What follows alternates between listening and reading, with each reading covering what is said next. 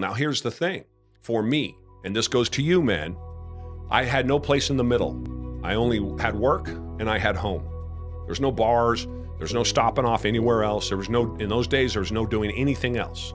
I would work all day and then I would go referee basketball games at night to pay the bills. We had just started the company. It was early in early in the day. I had three kids at home. Uh, the company wasn't making money. It was being really success. It done it had done huge revenue, but we were struggling to figure out how to make money. It was tough. So I had to pay myself. So four nights a week and all day on Saturday, Sunday, I'd go referee basketball games to pay the bills, to keep the lights on. I remember paying $28 towards an electric bill that was like 100 bucks, but I had to send them something to keep the lights on. And so I would go at night and then I would go referee until 11 o'clock at night. And I'd get back up, drive home, get up at 5.30 in the morning, go back and do it all over again, willingly. No, it was, it was the choice I made. And I wasn't going to be stopped doing it.